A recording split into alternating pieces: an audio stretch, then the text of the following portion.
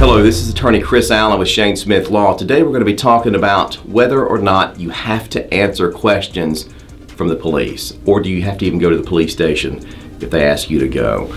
Well, this deals directly with what's known as your Miranda rights. Now, your Miranda rights are very, very, very important rights. They deal with your right to not have to answer self-incriminating questions. They also deal with your right to have an attorney with you if questions are being asked. Now, do you have to answer these questions? Absolutely not.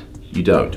Now, if police are asking you questions, certainly of just a general investigative nature, trying to find out what's happened on the scene, absolutely be cooperative. But if these questions reach a certain point to where you feel like you're under investigation, I would highly encourage you to get counsel, get a lawyer with you, don't answer any other questions until you have a lawyer present.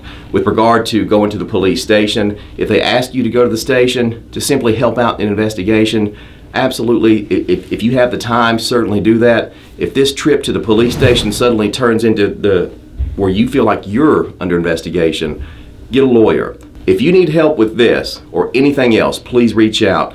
980-999-9999. In pain, call Shane. Shane. 980-999-9999. In pain, call Shane.